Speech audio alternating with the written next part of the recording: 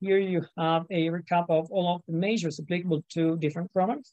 It's important to say that the same type of product may be subjected to several measures. For instance, the case of beverage containers, which, as we saw, they are covered by product requirements. That is, you know, mm, the cap having to remain attached to the container or the percentage of recycled plastic for PET bowls.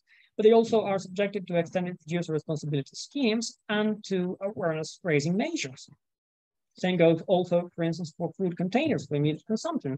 They can still be placed on the market, but the to a lower standard today. But once again, they are part of extended producer responsibility schemes and awareness raising measures. It's worth mentioning, it's worth keeping in mind that the same type of product may be covered by different types of, um, of measures.